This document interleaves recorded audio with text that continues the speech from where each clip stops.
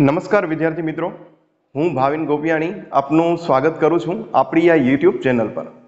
મિત્રો, આજનો ટોપિક છે ગરીબી, ગરીબીનો અર્થ અને તેના નિર્દેશકો. તો બંને જે ટોપિકો છે એ બીએસએમ વન અને બીકોમ સેમ ફાઈવમાં બંનેમાં કોમન ટોપિક આવે છે. તેથી આપણે સાથે જ જે છે એ મુદ્દો જોવાનો પ્રયત્ન કરીએ. તો સૌપ્રથમ આપણે ગરીબીનો અર્થ જોવા પહેલાં, એના નિર્દેશકો જોવા પહેલાં, આપણે એની પ્રસ્તાવના ઉપર થોડીક નજર કરીએ. તો અહીંયા સૌથી પહેલા પ્રસ્તાવનામાં જઈએ તો પહેલું જ વાક્ય છે કે વિશ્વના વિકસતા અને અલ્પ વિકસિત દેશોમાં ગરીબીનું પ્રમાણ જોવા મળે છે. જેમાં ભારત છે એ વિકસતા દેશોમાં આવે છે. ઓમ ખરેખર જોઈએ ને, તો વિશ્વના દેશોમાં જ્યારે ગરીબીને માપવા જઈએ ત્યારે જુદા જુદા ચાર આપણે એના પ્રકાર પાડેલા છે. જેમાં ત્રીજા વિશ્વના દેશો અને ચોથા વિશ્વના દેશો. આ ત્રીજા જે વિશ્વના દેશો છે એમાં આપણે વિકસતા દેશોને લઈ શકીએ અને ચોથા જે દેશો છે, તેમાં આપણે અલ્પ વિકસિત દેશોને લઈ શકીએ છીએ. તો ભારત પણ એમાં બાકાત નથી, કારણ કે આપણે ત્રીજા વિશ્વના દેશોની અંદર આપણો પણ સમાવેશ થાય છે. તેથી ભારતમાં પણ ગરીબીનું પ્રમાણ આપણે જોઈ શકાય છે. એવા એક નાનકડા મુદ્દાની સાથે આપણે પોઈન્ટની અંદર જઈએ. બીજી વાત કહે છે કે આ ગરીબીનો જે વારસો છે, એ આપણને તો અંગ્રેજોની નીતિ બદલ મળેલ છે. હવે આપણે ગરીબીનું જ્યારે પણ કંઈ પણ વિવરણ કરીએ છીએ કે ભારતમાં ગરીબી શું કામ છે? હાલની પરિસ્થિતિમાં જોઈ શકીએ છીએ કે ગરીબી કેમ છે, એના માટેના તત્વો, મુદ્દાઓ કયા આવે છે? પરંતુ આપણને આ ક્યાંથી મળેલો છે મુદ્દો? ક્યાંકથી આપણને વારસામાં તો આ પ્રાપ્ત થયેલું જ હશે? તો કે હા, અંગ્રેજોની નીતિથી.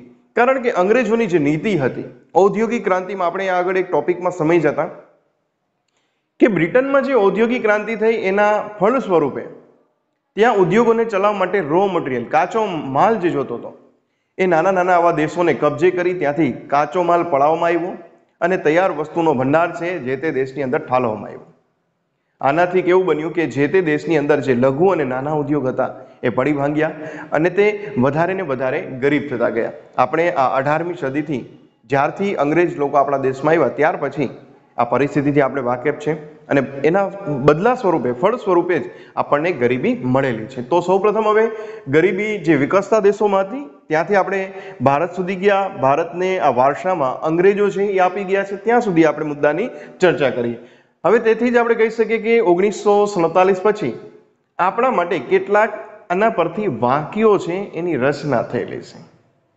ગરીબી માટે પણ આપણા માટે કેટલાક વાક્યો દીધેલા છે. બે ત્રણ વાક્યો છે. ઉપર છેલ્લા એની નજર કરીએ આપણે કે ભારતમાં ગરીબીના જે આ વાક્યો છે એ કઈ રીતના કામ કરે છે. તો સૌથી પહેલું જ વાક્ય છે કે ભારત એક ધનિક દેશ છે. કેવો દેશ છે? ધનિક દેશ છે, જ્યાં ગરીબ લોકો વસે છે. મિત્રો, આટલું એક નાનકડા સ્લોગનની સાથે ભારતનું જે અર્થતંત્ર છે, એની દરેક પરિસ્થિતિ છે, એ સામે આવી જાય છે. કારણ કે વાક્યની અંદર જે રચના કરેલી છે શબ્દોની, એ જ કંઈક એવી છે કે ભારત દેશ ધનિક છે, પરંતુ જ્યાં લોકો કેવા વસે છે? ગરીબ વસે છે. હવે આ વાક્ય તમે ક્યાંક આગળ ભણીને આવ્યા છો કે આ વાક્ય શું કામ ભારત માટે કહેવામાં આવે છે? તો કહેવાય છે કે ભારતની જે પ્રાકૃતિક સંશોધનો ખૂબ અઢળક છે. પરંતુ તેનો આપણને ઉપયોગ કરતા નથી આવડતો. આ ઉપયોગ નથી કરી શકતા અથવા નથી આવડતો ટેકનોલોજીનો અભાવ છે. જેના કારણે પણ આપણે કહીએ છીએ કે ભારત દેશ છે, ધનિક છે અથવા ધનિક ભારતમાં ગરીબ વસે છે એવું પણ આપણે આ વાક્યને બનાવી શકીએ તો આ પહેલું વાક્ય. બીજું વાક્ય છે કે ભારતની સૌથી મહત્વની બાબત એ છે કે અહીંયા જમીન ઉપજાવ છે. એટલે કે કુદરતી સંસાધનો છે એ કુદરત તરફથી આપણને અખૂટ મળેલા છે. પરંતુ તેના મોટા ભાગના જે લોકો છે એ નિર્ધન છે. કારણ કે જમીનની અંદરથી ઉપજ કઈ રીતના લેવી? એનું સંશોધનનો આપણે કઈ રીતના ઉપયોગ કરી શકીએ? એ બાબતથી જ આપણે વાકેફ નથી. એવું જે વાક્ય છે એ એમ એલ ડાર્લિંગ તરફથી આપણને મળેલું છે, આખું જે વાક્ય છે. ત્યાર પછી હજી પણ એક વાક્યની આપણે રચના છે એ કરેલી છે. એના વિશે પણ માહિતી મળે મેં તો લખ્યું છે કે ભારતને કુદરતે અપાર બક્ષિસ આપી છે. એ જ વાક્ય જે પેલા જમીન બાબતની આપણે ચર્ચા કરી, ધનિક ભારતની બાબતમાં વાત કરી, એ જ મુદ્દો આવે છે. કે અહીંયા પણ એ જ કહેવા માંગે છે કે ભારતને કુદરત તરફથી અપાર બક્ષિસ છે એ મળેલી છે, આપે છે કુદરતે. પરંતુ ભારતના લોકો તેનો શું યોગ્ય ઉપયોગ કરી શકતા નથી. આ પણ બહુ મહત્વનું કે આપણે એ જે ઉપયોગ કરવો છે, એના માટે પણ આપણે લાભ નથી ઉઠાવી શકતા. એ લખ્યું છે, સમર્થ નથી. અને આવું જે વાક્ય છે એ પ્રોફેસર જોથર અને બેરી જે છે, આ બંને આ વાક્ય છે ભારત માટે ઉલ્લેખ કરેલો છે. તો ભારત છે એમાં ગરીબી શું કામ છે? ગરીબી માટેના જુદા જુદા જે વાક્યો છે, એની રચનાઓ છે, એ પણ આપણી સમક્ષ હવે આવી છે. હવે ત્યાર પછી જોઈએ કે ગરીબીને જે છે, આપણે જ્યારે પણ વિસ્તારની દ્રષ્ટિએ જોઈએ, તો અહીંયા એના જુદા જુદા દ્રષ્ટિકોણ આવે છે. જેમાં આપણે અહીંયા મુખ્ય મુદ્દો બાંધ્યો છે કે ગરીબીનો જે અર્થ છે, એને આધુનિક પ્રવાહના સંદર્ભમાં આપણે રજૂ કરીએ. વ્યક્તિગત અર્થઘટન છે. એ આવશે અને બીજું છે, ગરીબીનું આધુનિક પ્રવાહના સંદર્ભમાં અર્થઘટન. તો હવે પ્રણાલીગત અને આધુનિક. આ બંને સંદર્ભમાં જ્યારે આપણે ગરીબીને જોવા જઈએ, તો એમાંથી કયા કયા મુદ્દાઓ આવે છે? તો મિત્રો, જે આપણે આગળ જોશું કે ગરીબીનું સ્વરૂપ, એ જ મુદ્દાઓ અહીંયા પણ આપણને જોવા મળશે. પહેલું જે છે કે જેને આપણે પ્રણાલીગત અર્થઘટન કહીએ, તેમાં આવે છે નિરપેક્ષ ગરીબી. ખરેખર ગરીબીનો અર્થ જ્યારે દેવા જાય ને, ત્યારે બે જ વસ્તુ નીકળે. એક તો જે વ્યક્તિની ઓછામાં ઓછી જે જરૂરિયાત, એટલે કે રોટી, કપડાં મકાન, આ ત્રણ વસ્તુની જરૂરિયાત પણ પૂરી ન પડતા હોય, તેને ગરીબ કહેવાય.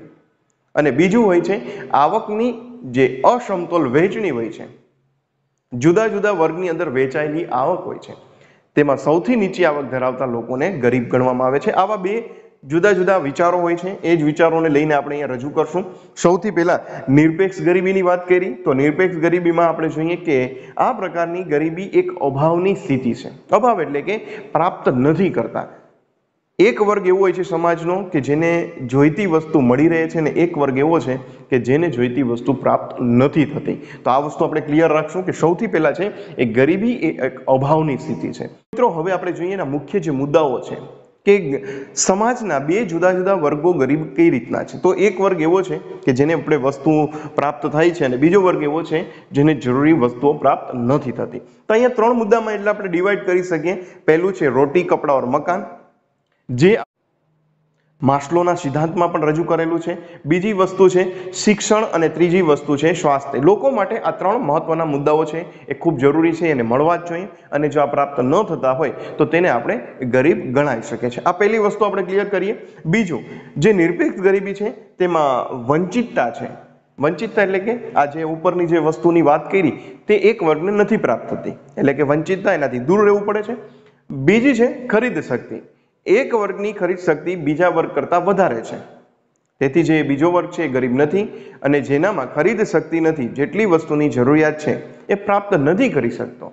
તેની ખરીદ શક્તિ ઓછી છે, તેથી તે ગરીબ છે. તો આ બધી જ વસ્તુ છે એ નિરપેક્ષ ગરીબીની બાબતમાં આપણે ઢાલવી શકીએ છીએ. ત્યાર પછી છે કે ગરીબી રેખાનો જે ખ્યાલ છે, નિરપેક્ષ ગરીબીમાં, તેમાં ગરીબી રેખાનો જ આધાર છે એ લેવામાં આવે છે. અને મોટાભાગે જે વિકસતા દેશો હશે. એ દેશોની અંદર નિરપેક્ષ ગરીબીના ખ્યાલનો અભ્યાસ કરવામાં આવે છે. તો આ નાની નાની જે બાબતો હતી, જે પ્રણાલીગત અર્થઘટન કરીએ ગરીબીનું, તેમાં આ જે મુદ્દાઓ છે આપણી પાસે આવે છે. હવે જે બીજા મુદ્દાની જે વાત કરશું આપણે અહીંયા, ગરીબીનું જે આધુનિક પ્રવાહની અંદર અર્થઘટન કરવાનો પ્રયત્ન કરીએ. તો તેમાં સૌપ્રથમ આપ્યું છે સાપેક્ષ ગરીબી. તો આધુનિક અર્થઘટન જ કેની સાથે સંકળાયેલું છે? તો કે સાપેક્ષ ગરીબી સાથે. અહીંયા શું લેવામાં આવે છે કે તો કે ગરીબોની જે આવક હોય છે તેની ભિન્નતા દર્શાવે છે. જુદી જુદી આવકો છે એ દર્શાવવામાં આવે છે અને ત્યાંથી નક્કી કરવામાં આવે છે કયો વર્ગ કેટલો ગરીબ છે. બીજી વસ્તુ કે સાપેક્ષ ગરીબીમાં જુદી જુદી શ્રેણીઓ હોય છે. એ શ્રેણીઓ છે, અહીંયા આપણે ત્રણ પ્રકારની લખશું. પહેલી છે સામાન્ય ગરીબ, બીજી છે મધ્યમ ગરીબ અને ત્રીજું છે અત્યંત ગરીબ. બધી જ શ્રેણીઓ આવે છે કે એમાં ગરીબમાં જ આવે છે. નિરપેક્ષ ગરીબીમાં માત્ર બે વર્ગ સુધી જ આપણે પહોંચી શક્યા. એક છે એ વસ્તુને પ્રાપ્ત નથી કરી શકતો એ કરી શકે છે. પરંતુ સાપેક્ષ ગરીબીમાં એનું સૂક્ષ્મ દર્શન છે કરવાનો પ્રયત્ન કર્યો અને જે ખૂબ વસ્તુ છે એ ત્યાં સુધી પહોંચી નથી શકતો, એટલા માટે તેને અત્યંત ગરીબ કીધો. અમુક એવા વ્યક્તિઓ છે જે અમુક વસ્તુ સુધી પહોંચી શકશે, તેને આપણે સામાન્ય ગરીબ કહીએ છીએ. પરંતુ આ બધી જ વસ્તુ છે એ કેની સાથે સંકળાયેલી છે? આવકની, જૂથની સપાટી સાથે. ત્યાર પછી છે કે સાપેક્ષ ગરીબી છે કયા દેશ સાથે સંકળાયેલી છે? તો લખ્યું છે કે વિકસિત દેશો છે. એની સાથે આ સાપેક્ષ ગરીબીનું પ્રમાણ દર્શાવેલું છે. તો મોટામાં મોટા જે મુદ્દાઓ હતા, ગરીબીના દ્રષ્ટિકોણની અંદર. એક, જે જોયું આપણે, એ પરંપરાગત જે ચાલતો આવતો હતો, એ આપણે ખ્યાલ જોયો, જેને આપણે પ્રણાલીગત પણ કહી શકીએ. અને બીજો હતો, આધુનિક જે ખ્યાલ છે, એની સાથે બંનેની આપણે ચર્ચા કરી. એ જ મુદ્દાને હવે આપણે ગરીબીના સ્વરૂપમાં પણ જોશું. ગરીબીના સ્વરૂપમાં જ્યારે જઈએ ત્યારે સૌથી પહેલું છે સાપેક્ષ ગરીબી. બીજું છે નિરપેક્ષ ગરીબી. હવે અહીંયા જ્યારે કોન્સેપ્ટ આખો જ ક્લિયર થઈ ગયો છે, તો મુદ્દાઓ પણ તમને સમજાઈ ગયા હશે બંનેના. પરંતુ આપણે વિસ્તારથી અને થોડીક ચર્ચા કરવાનો પ્રયત્ન કરીએ, તો સૌ આપણે જોઈએ સાપેક્ષ ગરીબી. સાપેક્ષ ગરીબીમાં આપણે જોયું કે જુદા જુદા લોકોની જે આવક હશે, એની જે જુદી જુદી પદ્ધતિઓ હશે, એને દર્શાવવામાં આવશે. તો અહીંયા આપણે કોષ્ટક દોર્યું છે. દરેક જૂથ છે એ, બી, સી અને ડી સામે આવક આપી છે. દરેકની આવક જુદી છે. એની આવક સાત હજાર પાંચસો છે, બીની આવક છે ત્રણ હજાર છે, સીની આવક બારસો છે અને ડીની આવક ત્રણસો છે. તો અહીંયા આપણે ગરીબીના જ જુદા જુદા વર્ગ, કારણ કે આપણે સાપેક્ષ ગરીબીમાં જોઈ ગયા. કયા ત્રણ વર્ગ હતા? અહીંયા આપણે આપ્યા હતા સામાન્ય ગરીબ, મધ્યમ ગરીબ અને અત્યંત ગરીબ. તો આ ત્રણ જુદા જુદા વર્ગનો જ અભ્યાસ કરીએ છીએ. તો અહીંયા એમાં પણ જુદા જુદા મુદ્દાઓ આવીને આપણી પાસે આવે છે. અહીંયા જોઈએ સૌથી પહેલા, કુલ આવક કેટલી મળે છે? તો કે બાર હજાર. તો બાર હજાર મળે છે. તો વ્યક્તિગત સરેરાશ આવક કેટલી થઈ? ત્રણ હજાર. તો અહીંયા વ્યક્તિગત સરેરાશ આવક મુજબ જોઈએ તો સી અને ડી છે એ એ ને બી કરતા કેવા છે? વધુ ગરીબ છે. બે પાર્ટ આવે. જ્યારે વ્યક્તિગત, કારણ કે પહેલાની ત્રણ હજારથી વધુ છે સી અને ડી ની ત્રણ હજારથી આવક કેવી છે? ઓછી છે. આ સૌથી પહેલા વ્યક્તિગત સરેરાશ આવકની વાત કરીએ ત્યારે. હવે આપણે જુદી જુદી જે જૂથવાળી પદ્ધતિમાં ઠાલવીએ, તો આપણે સૌથી પહેલા જ લઈએ સી અને ડી જે અત્યંત ગરીબ છે. કારણ કે એને બી કરતા સી અને ડી ની આવક કેવી છે? ઓછી છે. ત્યાર પછી બી ને લઈ, જે મધ્યમ ગરીબ છે, એટલે કે અત્યંત ગરીબથી થોડીક એની સ્થિતિ સારી છે. અને સૌથી ઉપર એને લેશું જેને આપણે સામાન્ય ગરીબ કહેશું. પરંતુ બધા જ આવે છે વર્ગ કેમાં ગરીબમાં જ આવે છે. તો આ પ્રકારનો ખ્યાલ છે આપણી સામે આવે છે. અને લખ્યું છે કે ગરીબ છે એ ત્રણ હજારથી ઓછી આવક હોય. એમાં સી અને ડી આપણે જેની ચર્ચા કરી, જેને અત્યંત ગરીબ અને બે જે સરેરાશ વ્યક્તિગત આવકની બાબતમાં ગરીબીનું પ્રમાણ કાઢીએ, તો આવા બે વર્ગ જુદા જુદા આવે. એ બી અને તો સૌપ્રથમ સાપેક્ષ ગરીબી, એના વિશે વિસ્તૃતથી ચર્ચા આપણે પહેલાં પણ એના આધુનિક વલણમાં કરી ગયા. એટલે બીજી કોઈ નોંધ નહીં કરીએ, માત્ર આ જ વસ્તુઓ છે, એને અહીંયા ઠાલવવાનો પ્રયત્ન કરશું. બીજી જે વસ્તુ છે એ નિરપેક્ષ ગરીબીની બાબતમાં છે. નિરપેક્ષ ગરીબી એટલે શું? તો અહીંયા આપ્યું છે કે સૌપ્રથમ વ્યક્તિની જે પાયાની જરૂરિયાત છે, એ પણ સંતોષી ન શકે.